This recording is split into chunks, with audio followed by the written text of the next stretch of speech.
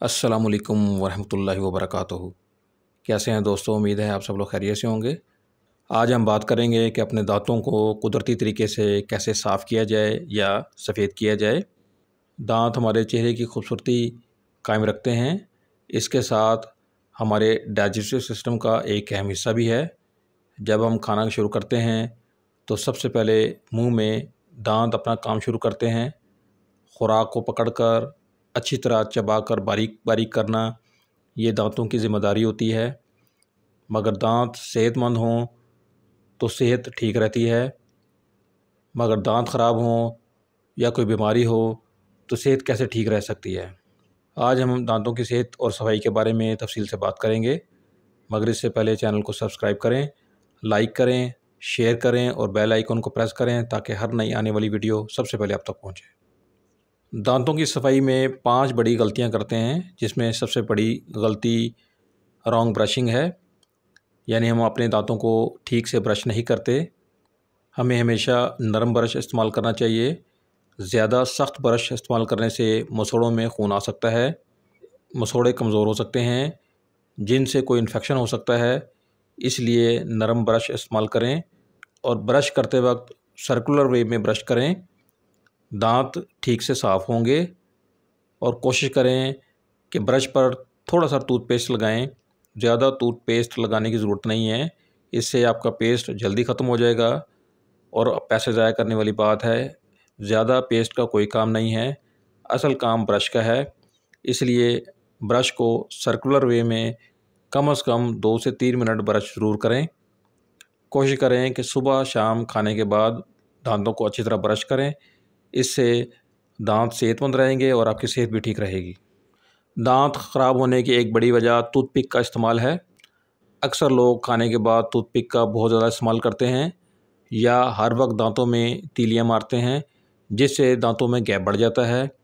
दांत कमज़ोर होने लगते हैं, मसोड़ों से खून आ सकता है, इनमें कोई इन्फेक्शन हो सकता है। लिहाजा बहुत ज़रूरी हो तो टूथपिक का इस्तेमाल कर सकते हैं।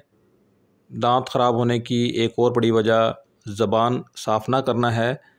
अक्सर लोग ज़बान को साफ़ करने के लिए प्लास्टिक स्क्रैपर यूज़ करते हैं।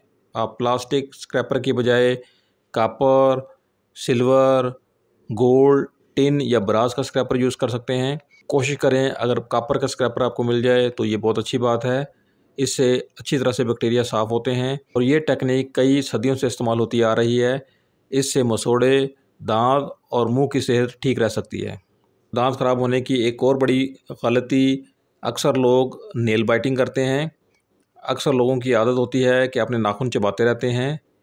उन्हें इस बात का इल्म नहीं होता कि नाखूनों में छुपे ख़तरनाक बैक्टीरिया मुँह में दाखिल होकर मुख्तलिफ़ किस्म की बीमारियाँ फैलाते हैं। इसलिए नाखून चबाने की आदत ख़त्म करें ताकि मुँह की सेहत ठीक रहे, दांत की सेहत ठीक रहे और आप ख़तरनाक बीमारियों से महफूज रहें। दांतों की सेहत ख़राब होने की एक और बड़ी वजह हम दांतों का गलत इस्तेमाल करते हैं। अक्सर लोग अपने दांतों से मुख्तलिफ़ काम भी कर लेते हैं, जैसे कोई बोतल का ढक्कन खोल लिया या कोई गिरा वगैरह खोल ली। इससे ख़तरनाक बैक्टीरिया मुँह में दाखिल होकर दांतों को ख़राब कर देते हैं। अक्सर लोग दफ्तर में या स्कूल कॉलेज में पेन या पेंसिल चबाते रहते हैं। ये भी एक गलत आदत है, इससे ग्रेज करें। इससे दांतों और मुसड़ों की सेहत ख़राब हो सकती है। दांतों की और मुँह की सेहत के लिए पाँच अच्छी टेक्निक्स हैं। अगर उनको अपनाएँ तो दांत आपके साफ़ और सेहतमंद रह सकते हैं। पहले नंबर पर, जब भी आप खाना खाएँ, खाना खाने के बाद अच्छी तरह से कुली करें।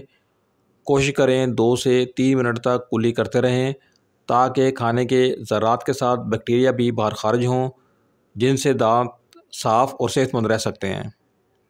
दूसरे नंबर पर ऑयल पुलिंग टेक्निक है। आप सुबह सवेरे जब उठते हैं तो मुँह में एक चम्मच कोई भी खाने का तेल लेकर अच्छी तरह से इसकी कुली करके थूक दें। इस ऑयल पुलिंग टेक्निक से ख़तरनाक बैक्टीरिया आपके मुँह से बाहर खारिज हो जाएँगे और इसके बाद अच्छी तरह से टूथपेस्ट से ब्रश करें। आपके दांत साफ़ होंगे और मुँह की बदबू भी ख़त्म हो सकती है। तीसरे नंबर पर आप डेंटल पाउडर यूज़ कर सकते हैं।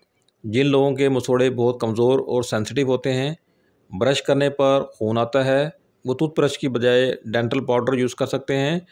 अगर इस डेंटल पाउडर को दांतों पर लगाकर उंगलियों से साफ़ किया जाए, जिससे दांत सेहतमंद रह सकते हैं, मसोड़ों का अच्छी तरह मसाज हो सकता है और दांत आपके साफ़ रह सकते हैं। चौथे नंबर पर दांतों की अच्छी तरह एक्सरसाइज करें। जिस तरह से हम अपने जिसम की एक्सरसाइज करते हैं, इसी तरह से दांतों की एक्सरसाइज भी बहुत ज़रूरी है। आप खाने को अच्छी तरह चबा चबा कर नरम करें। आप गन्ने चबा सकते हैं, आप मौसमी फल चबा कर खा सकते हैं, इससे दांतों की अच्छी तरह एक्सरसाइज होती है, दांत मज़बूत होते हैं। पाँचवें नंबर पर आप मसवाक का इस्तेमाल कर सकते हैं। मसवाक का इस्तेमाल सदियों से चला आ रहा है। मसवाक में एंटी माइक्रोबियल प्रॉपर्टीज़ मौजूद होती हैं, जिनसे मुँह में छुपे जरासीम का ख़ात्मा हो सकता है। दांत सेहतमंद रह सकते हैं। मसवाक के इस्तेमाल से सलाइवा का अल्कलाइन लेवल बरकरार रह सकता है। मसोड़ों में सूजन, मसोड़ों का दर्द, मसोड़ों में खून आना ख़त्म हो सकता है और आपके दांत और मसोड़े सेहतमंद रह सकते हैं। उम्मीद है आज की वीडियो आपको पसंद आई है। अगर पसंद आई है तो इसको लाइक करें, शेयर करें, सब्सक्राइब करें चैनल को, बेल आइकॉन को प्रेस करें ताकि हर नई आने वाली वीडियो सबसे पहले आप तक पहुँचे। आपका बहुत शुक्रिया। अल्लाह ने के बाद